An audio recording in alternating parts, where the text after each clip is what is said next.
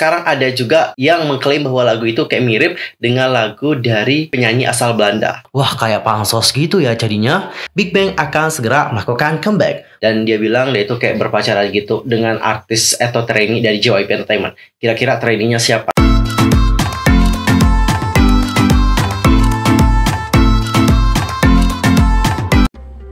Hey yo, what's up guys? I'm Mr. Kim, welcome back to my YouTube channel. Lah, gimana sih kabarnya hari ini? Baik-baik aja dong ya. Dan buat kalian yang lagi baik-baik aja, pokoknya tetap semangat ya guys, don't give. Nah, cinggu untuk hari ini kita akan ngebahas tentang topik-topik terhangat seputar dunia per yang pastinya sangat sayang banget untuk kalian lewatkan. Nah, supaya kalian gak jadi K-popers yang kudet, langsung aja subscribe channel aku, bunyi loncengnya, serta jangan lupa juga buat like, comment, dan share kepada teman-teman K-popers yang lain. Tanpa basa-basi lagi, langsung aja yuk guys, kita bahas beritanya bersama-sama. Oke guys, untuk topik pertama, kita akan mulai dulu ngebahas tentang Jennie Blackpink, Rose Blackpink, dan juga Bella Porsche yang kayak kegap gitu loh bersama-sama. Wih, apa yang terjadi dengan mereka? Apakah akan ada proyek collab? Seperti yang diketahui nih guys, Rose dan Jennie kini tengah berada di Los Angeles, Amerika Serikat karena sedang tidak memiliki jadwal di Korea Selatan. Nah, dua anggota lain yakni Jisoo dan Lisa sementara ini sedang ada proyek syuting drama dan persiapan debut solo. Setelah sebelumnya Rose menggegerkan publik karena terlihat makam bersama dengan Olivia Rodrigo, kini penggemar mengetahui bahwa Rose dan Jennie baru saja hangout bersama dengan Bella Porsche, bintang TikTok yang kini namanya semakin meroket berkas single Bill Oberge. Nah untuk sampai saat ini belum dipastikan sih apakah akan ada keperluan antara mereka Namun tentu saja penggemar ingin ada kolaborasi antara ketiganya Paling enggak yang ngebuat sebuah TikTok bersama lah Well, tadi kita sudah melihat bagaimana Bella, Jenny, dan juga Rosie yang kayak kegap bersama. Dan seperti yang kalian harapkan, kalian itu pasti pengen ngelihat mereka itu kayak tiktokan bareng. Semoga aja kayak gitu. Ntar semoga aja video tiktoknya segera dirilis ya, kalau seandainya dibuat. Kalau nggak dibuat ya nggak apa-apa juga sih, nothing problem. Dan aku jujur pengen ngelihat mereka itu collab untuk ngebuat musik bersama. Jenny, Rose, dan juga Bella. Wis mantap. Atau nggak Blackpink featuring Bella. Bakalan pecah banget sih collab mereka kalau benar-benar terjadi. Dan guys, sekarang kita akan masuk ke topik yang kedua. Kali ini datanya dari Check and Hypen. Jadi Cinggu, baru-baru ini ada sebuah merek shampoo itu kayak mempertimbangkan untuk menjadikan Jack ini sebagai model untuk shampoo mereka.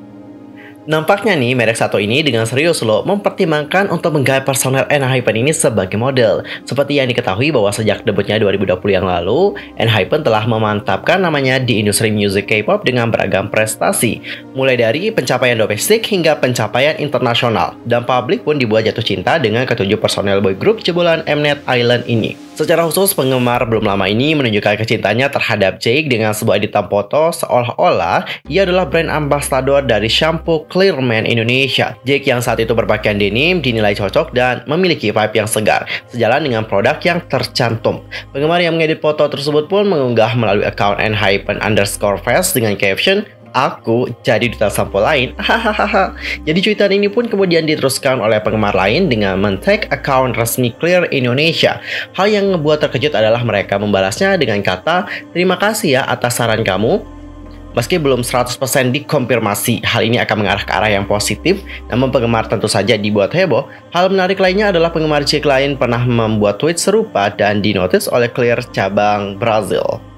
Well Cinggu, kalau aku secara pribadi sependapat sama kalian, aku setuju banget kalau si Jack ini menjadi model untuk yang clear. Kenapa? Karena kalian lihat bahwa image dari Jack kan emang kayak cool gitu kan. Habis itu image dari clear juga cool gitu. Jadi kalau udah sama cool cool ya pasti klop banget gitu, cocok banget. Jadi kalau seandainya mereka nanti nge-guide si Jack ini menjadi modelnya, I think uh, itu adalah pilihan yang tepat.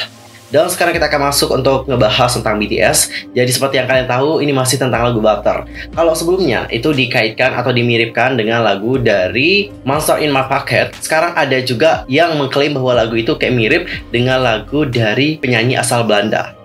Nah, singgung seperti yang kalian tahu bahwa awal pekan ini sebuah isu seputar single teratas BTS di Billboard Hot 100 yaitu Balder dan soundtrack game Jepang telah terungkap dengan komposer soundtrack game secara pribadi menyangkal tuduhan tersebut. Sekarang, netizen itu telah menemukan lagu lain, kali ini oleh penyanyi Belanda yang juga terdengar mirip dengan Butter. Lagu You Got Me Down karya Luca de Poiner, musisi asal Belanda tercatat dirilis pada tahun 2020. Perbandingan melodi You Got Me Down dengan Butter dapat kalian lihat di YouTube ya guys. Tampaknya komposer asli You Got adalah seorang musisi bernama Edry Block. Setelah beberapa penelitian, penggemar juga mengklaim bahwa You Got terdaftar di database EDM Beatport. Sementara itu, kredit untuk Butter mencantumkan komposer seperti Jenna Andrew, Rob Grimaldi, Stephen Kirk, Alex Bilowitz, Sebastian Garcia, Ron Perry, serta anggota BTS yaitu RM.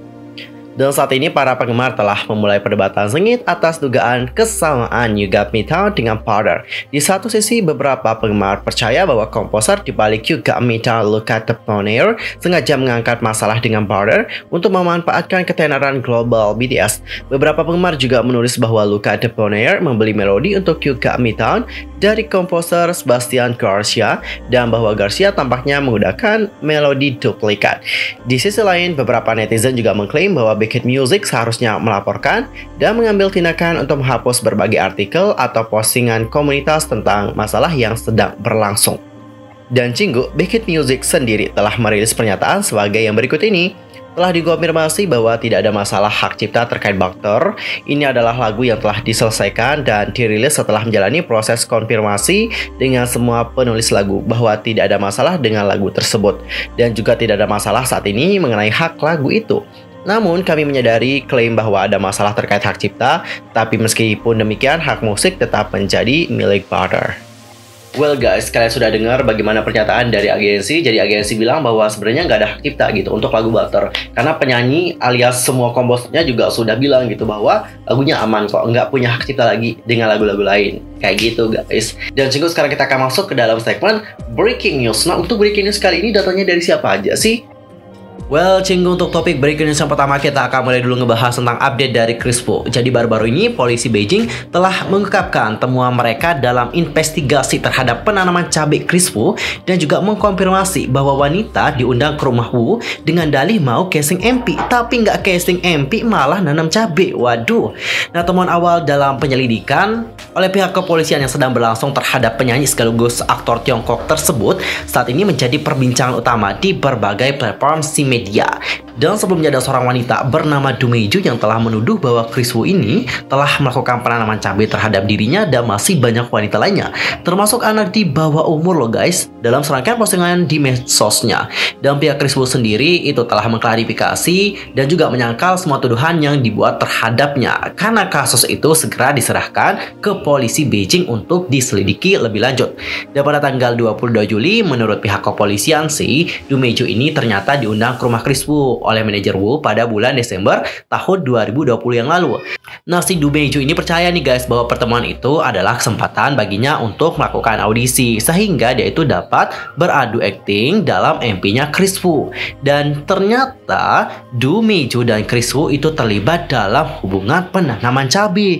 Dan cinggu setelah itu, Dumeju dan Chris Wu mempertahankan kontak mereka melalui aplikasi WeChat. Chris Wu juga menawarkan uang kepada Dumeju untuk dapat digunakannya belanja online. Dan selama pemeriksaan kepolisian, Dumeju juga mengaku bahwa dia awalnya mengajukan tuduhan terhadap Chris Wu hanya untuk mendapatkan ketenaran.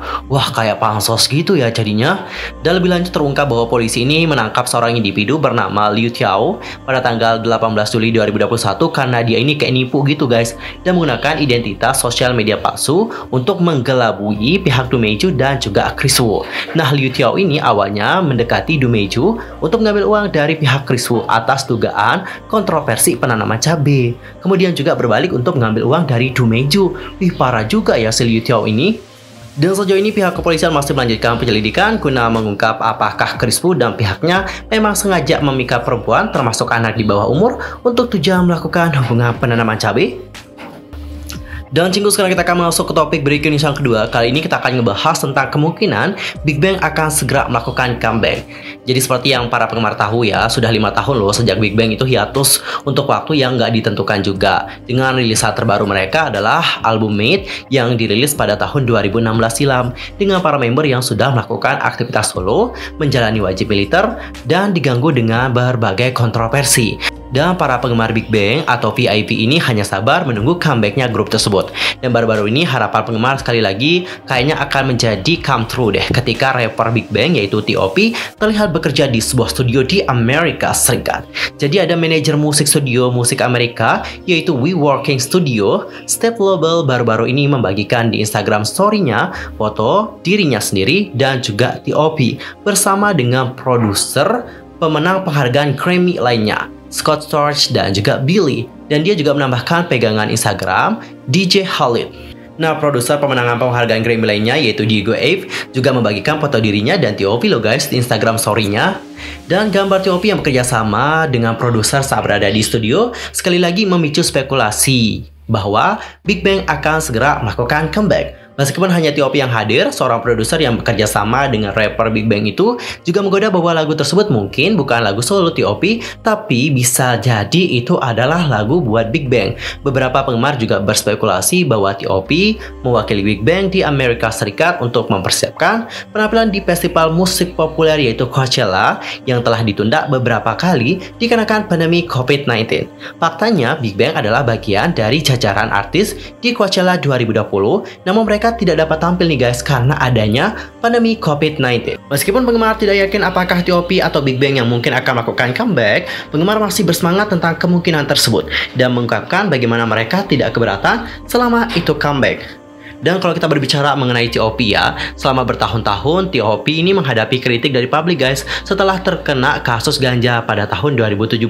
Dan sejak itu TOP ini telah keluar dari highlight dan terus melanjutkan kegiatan individunya. Dan kalau kita comeback pada tahun 2020 atau tepatnya pada bulan Februari, TOP mengadakan Instagram Live untuk ngobrol dengan para penggemar yang telah menunggu comeback dia. Dan selama secara langsung dia mengungkapkan kepada penggemar bahwa dia sama sekali tidak memiliki rencana untuk comeback di Korea Selatan karena orang-orangnya terlalu tidak baik. Meskipun para penggemar kecewa, mereka tetap menunjukkan dukungan mereka dan mengungkapkan bagaimana mereka akan menunggu ketika TOP telah siap. Dan guys, sekarang kita akan masuk ke topik yang terakhir kali ini datangnya dari seorang mantan trainee dari JYP Entertainment yang dikeluarkan karena dia ketahuan gay. Salah seorang mantan trainee JYP Entertainment buka suara mengenai perlakuan agensi terhadap orientasi seksualnya. Bernama panggung Killian, nama aslinya adalah Lin Chili. JYP Entertainment sempat menjadi rumahnya untuk sementara waktu dan hampir debut untuk 2PM dan juga 2AM. Namun impian dari Killian sirna setelah dirinya ketahuan berpacaran dengan seorang trainee pria di JYP Entertainment pada masa itu yang membuat agensi marah. JYP Entertainment gak ingin mengambil resiko dengan menyebutkan seorang idol yang gay. Mereka memutuskan untuk mengeluarkan Lin Chile yang merupakan trainee pada saat itu dari agensi. Tak berhenti karena hal tersebut, Kilian dapat bantuan dari makeup artist JYP Entertainment yang memperkenalkannya dengan agensi lain. Berpindah di lima agensi yang berbeda, Kilian akhirnya putuskan untuk kembali ke kampung halamannya yang berada di Hong Kong. Dan karena sekarang dia itu telah kembali di industri hiburan, Kilian kini akui bahwa dirinya nggak berharap untuk menjadi sangat terkenal. Dia hanya berharap mendapatkan kesempatan yang tepat akan datang. Wow, wow, wow. Jujur aku baru tahu ada trainee JYP namanya adalah Kilian dan dia bilang dia itu kayak berpacaran gitu dengan artis atau trainee dari JYP Entertainment. Kira-kira trainee-nya siapa ya? Apakah ini udah debut juga atau gimana nih? Jadi kepo juga. Atau apakah dia juga udah dikeluarin dari agensi? Kayaknya dua-duanya dikeluarin deh guys. Nggak mungkin sih satunya aja dikeluarin. Kayaknya dua-duanya langsung dikeluarin sih sama JYP. Karena ya JYP emang nggak mau ngambil resiko lah. Apalagi pada saat itu kan sampai sekarang juga sih orang-orang kan mandang LGBT itu kayak gimana gitu. Pasti kalau ada yang dianggap LGBT, mereka itu akan dikritik keras dan impactnya itu nggak cuma untuk dia sendiri gitu, tapi impactnya juga buat grup dan juga buat agensi gitu guys. Sebenarnya ya kita juga nggak bisa menyalahkan JYP ya karena mereka juga kan pembisnis guys. Yang namanya pembisnis mereka itu nggak mau ada yang namanya kerugian. Pasti mereka itu mau yang namanya keuntungan dan juga keuntungan. Gitu guys. Oke cenggu berita dari Kilian tadi menutup perjumpaan kita untuk hari ini. See you next time di video berikutnya. I'm Yusuf pamit. Thanks for watching. Annyeong. Gak usah hamdilah. Goodbye.